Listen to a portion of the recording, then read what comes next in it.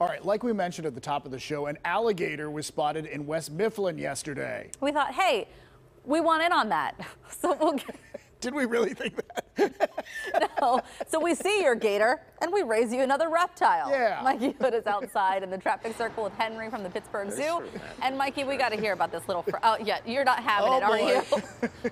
You know, I mean, it's easy for you guys to say because you're inside. I'm out here with uh, um, Henry from uh, the Pittsburgh Zoo and PPG Aquarium. He's brought us a cold-blooded creature this morning. Henry, how So- are you? I'm doing well. I just want to introduce you to Henry, our Gila monster.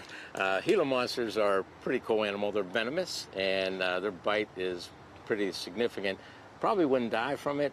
Probably wish I was dead uh, if I got a bite. Uh, my understanding is it's quite painful. They don't make antivenom anymore because not enough stupid people pick them up and handle them. Um, and- Well, you're holding him, well, we have a history. He's actually the oldest known uh, Gila monster in captivity in North America right now. So he's a, we've had him a long time, and he's used to me. Yeah, I see. You said venomous. That's why I probably will not be holding him today. But uh, tell me a little bit more about him. So does Well, you know, one of, the, one of the reasons I actually brought him, it, he's related to animals like the Komodo dragon. Yeah. They have uh, bones that, these, these little bumps that float in their skin. They're, they're a suit of armor. If you see their skeletal structure, uh, if this animal were to pass away, they just have these little, these beads that serve as uh, almost like armor. If you look at it, it looks exactly like bone armor. And so they're, they're called denticles, and uh, it gives them uh, a way of protecting. And Komodo dragons have a very similar thing. And so, you know, there was a connection I'm making. yeah? We're, we're going to have our Asian Lantern Festival. I and hear. we have a huge dragon lit up silk.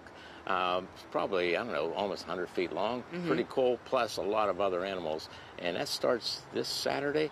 And after that, it's going to be Thursday, Friday, Saturday, Sunday. You go online and you get tickets for less than 20 bucks That's person. so cool. So that's all happening at the Pittsburgh Zoo. Now, these one of these guys, you won't find him walking around Pittsburgh, but where, where are they native to? You'll find these in desert, desert Southwest, uh, you know, Arizona, maybe parts of Utah and those areas, going into Mexico actually. So one of two venomous lizards in the world. The other one is found in Mexico, the beaded lizard, a little bigger, larger than this one. Are there a lot in the wild still? There are not a lot, um, and that's what makes them sort of, uh, you know, protected in in the states. They are protected by the states, not by the federal government. Yes, I'm assuming that this does not make a good pet.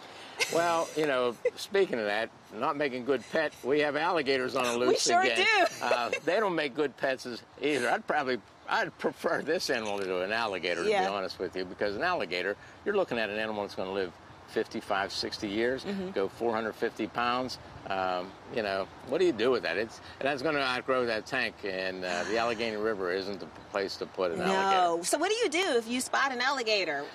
Well, one of the things you want to call authorities Mm-hmm. uh, if you saw an alligator and try to keep an eye on it. Um, you know, the gator that it's loose, I think, is three feet, and it's probably not particularly dangerous. So if you're adventuresome, uh, don't grab it. But um, you know, if I saw it, I would grab it, I guess. I'm sure you would. you know, you, you want to make sure you can track it and let authorities know where it's at. All right. Good tips. Thank you so much, Henry. All right, well, we're going to send it back to you guys in the studio. It's cold blooded out here this morning. I am not going to. It matches your shirt. Mikey, That's it. That's about it this morning. can I tell you, there is a crazy squirrel behind you. There's like three of them, Mikey. This They're squirrel putting on a show as Henry's talking. It's like doing There's backflips squirrels behind, behind, you. us. It's like you're the squirrel.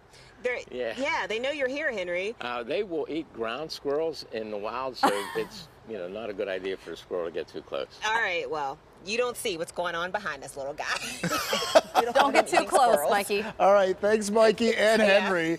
I love how See he calmly says, he says, yeah, they're, They- they're venomous, eat. and they quit making the anti-venom. Yeah. Because stupid people stopped handling them.